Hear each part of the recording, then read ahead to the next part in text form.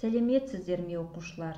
География сабағы 11 сынып 7 бөлім адамзаттың ғаламдық проблемалары. Сабағымыздың тақырыбы ғаламдық проблемаларды шешу жолдары. Сабақтың оқу мақсаты 11.7.1.1 ғаламдық проблемаларды шешу жөнінде әлемдік тәжірибені зерттеу.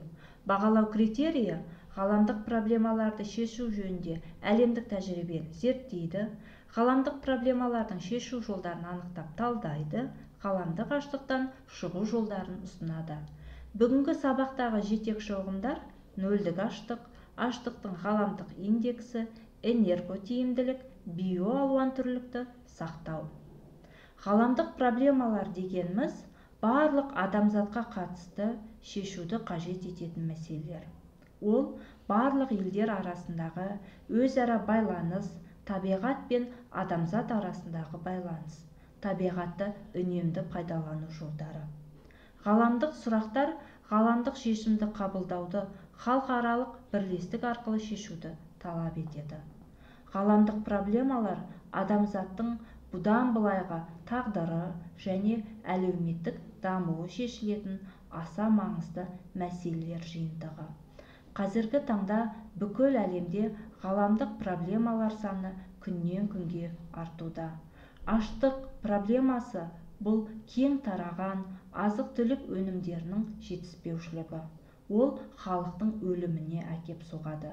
Сіздердің алдарыңызда дүние жүзіндегі аш адамдар санының динамикасы көрсетілген. Мұнда 2005 жылы 945 миллион адамды қамтыса 2014 жылы 784 миллион адам 2017 жылы 821 миллион адамды 2018 жылы 815 миллион адамды қамтыған екен. Яғни 2017 жылы аш адамдар саны 821 миллион адамнан асқан. Ал 2018 жылы әлемде азық-түлік тапшылығынан шамамен 815 миллион адам зардап шеккенін көріп отырмыз. Дүние жүзі аймақтары арасындағы аштықтың үлесі пайыз есебімен көрсетіліп тұр. Яғни бұл жерде көріп отырғандарыңыздай африка 21 пайызды азия 11 пайызды аустралия және мұхиттық аралдар 7 пайызды латын америкасы 6 пайызды солтүстік америка және еуропа елдері 2 пайызды қамтып отыр. Бұл жерде аштық проблемасы африка құрлығында өте көп екенін байқап отырмыз. Оарда яғни оңтүстік африка республикасында аштықтың өте қиын деңгейі орын алған. Үрейлі аштық деңгейіндегі елдерге чад мадагаскар замбия сьерра леоне судан және либерия мемлекеттерін жатқызамыз. Ал елеулі аштық деңгейіндегі елдерге ауғанстан пакистан үндістан мьянма бангладеш филиппин солтүстік корея және индонезия мемлекеттері кіріп отыр. Біріккен ұлттар ұйымының мәліметтері бойынша орталық африка халқының гуманитарлық қажеттіліктерін қанағаттандыру үшін 130 миллион ақш доллары көлемінде көмек қажет екен. Азық-түліктің жетіспеуінен төтенше жағдай қалыптасқан тағы бір ел бұл конго демократиялық республикасы. Бұл туралы біріккен ұлттар ұйымының бүкіл әлемдік азық-түлік бағдарламасы хабарлады.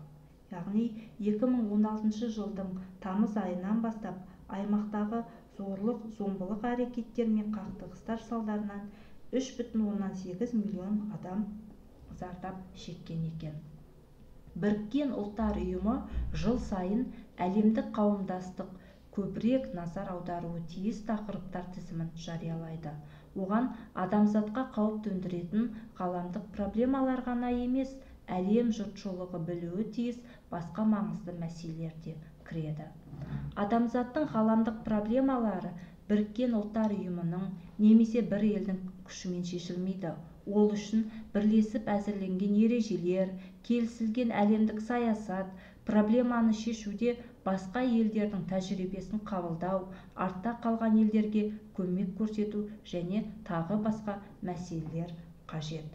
Оқушылар сіздерге берілетін тапсырма номері бір аштық мәселесін шешуде ауыл шаруашылығына жасалған инвестициялар қандай? Бағалау критерийі аштық мәселесін шешуде жасалған инвестицияларды анықтайды. Дескриптор ғаламдық аштық мәселесін біледі сұрақтарға жауап береді. Тапсырма номері екі ғаламдық проблемаларды шешуде біріккен ұлттар ұйымының маңызы қандай? Бағалау критерийі біріккен ұлттар ұйымының маңызы туралы анықтайды. Дескриптор ғаламдық проблемаларды шешудегі біріккен ұлттар ұйымының маңызы туралы айтады. Сонымен оқушылар сіздер бүгінгі сабақта ғаламдық проблемаларды шешу мүмкіндіктері жайлы білдіңіздер. Ғаламдық проблемалардың шешу жолдарын анықтап талдадыңыздар. Ғаламдық аштықтан шығу жолын анықтадыңыздар. Сау болыңыздар.